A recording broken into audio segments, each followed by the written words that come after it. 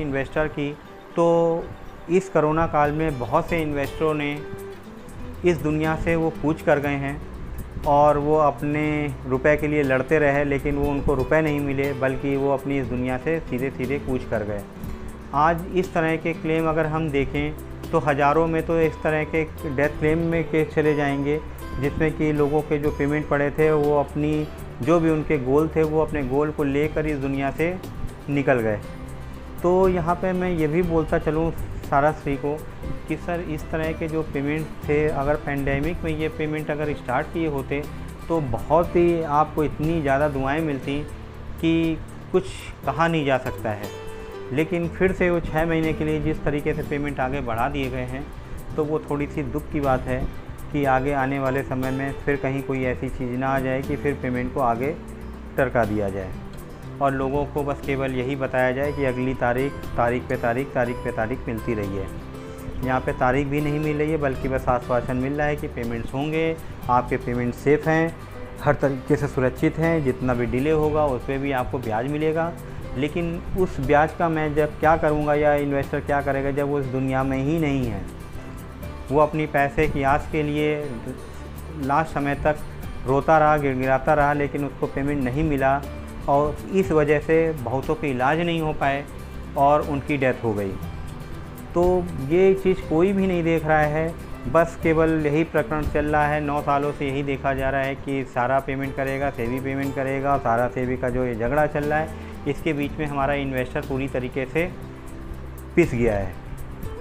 तो मेरा मानना ये है कि जिस तरीके से ये सिचुएशन चल रही है, ये सिचुएशन बहुत जल्द से जल्द सॉल्व की जानी चाहिए। चाहे वो यहाँ की हमारे हर सिटी की पब्लिक अथॉरिटी के थ्रू या हमारे जो सुप्रीम कोर्ट ने आदेश किया है, वो भी एक ऐसा आदेश दें कि भाई पेमेंट जो भी है वो स्टार्ट किए जाएँ, जो इनके अकाउंट्स बंद चल रहे हैं, उनके अकाउंट्स को चालू कर दिया जाए, ताकि एक इनको भी एक वे मिल जाएगा पेमेंट करने का कि भाई पेमेंट मतलब हमारे जो अकाउंट फिर से अनफ्रिज हो गए हैं तो हम भी उस पर पेमेंट करने के लिए लाइबल हो जाएँगे। तो दोस्तों, इसी तरीके की ये सारी चीज़ें हमारे सामने इस समय चल रही हैं और प्रतिस्पर्धा इसलिए चल रही है कि कैसे पेमेंट होंगे।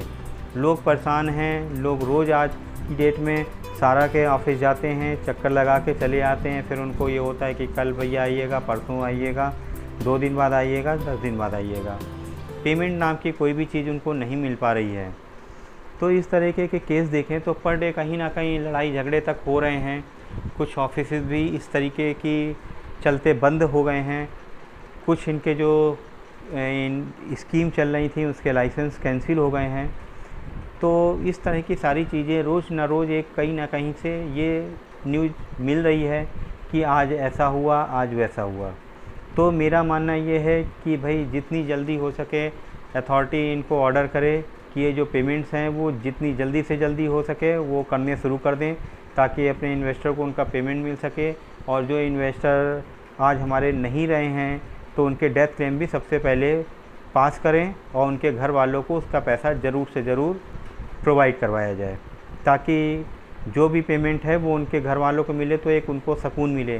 भाई, जाने वाले को वापस नहीं लाया जा सकता है, लेकिन हम उसकी क्षतिपूर्ति तो कम से कम उसके पेमेंट से कर सकते हैं कि उसको एक संतावना मिल सकती है कि भाई आगे आपका इस थोड़ा पैसा जो आपको दिया जा रहा है, जो आपका अमाउंट लगा हुआ था तो आप इससे अपना काम कर सकें।